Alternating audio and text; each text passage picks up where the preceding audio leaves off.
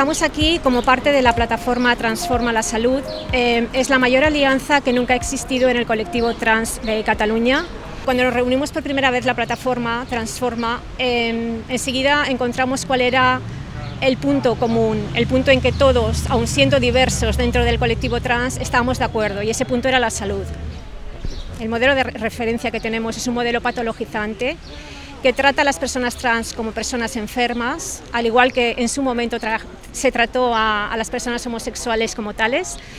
Pensamos que, la sociedad ha adelantado y que ya sería un momento de, poder ¿no? Eh, avanzar también dentro de lo que es el servicio a las personas trans. Hem vingut al síndic de Greuges a presentar una queixa, ja vam presentar-la al Parlament de Catalunya i, i bueno, es tracta d'una queixa amb testimonis, amb un marc jurídic que explica els, els problemes que tenim la gent trans a, nivell de salut.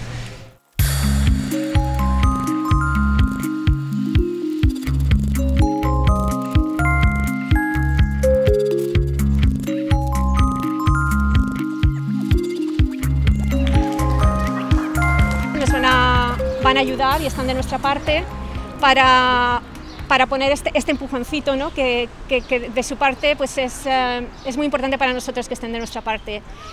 Y lo que podemos concluir de esta, de esta reunión es, eh, es que tenemos su ayuda.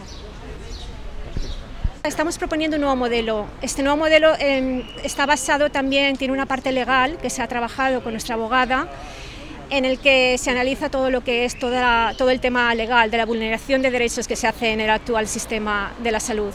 Els principis bàsics de la proposta és, bueno, primer hi ha un recull de les lleis que hi ha internacionals, la llei també catalana i de resolucions de la ONU en quant al desenvolupament de les persones. Que se cumpla la legalidad, que se cumpla la ley ya aprobada en mayoría por el Parlamento el 10 de octubre del 11, eh, 11 2014 en el que se habla de la salud como el sistema de bienestar, no discriminatorio, igualitario y respetando a la persona.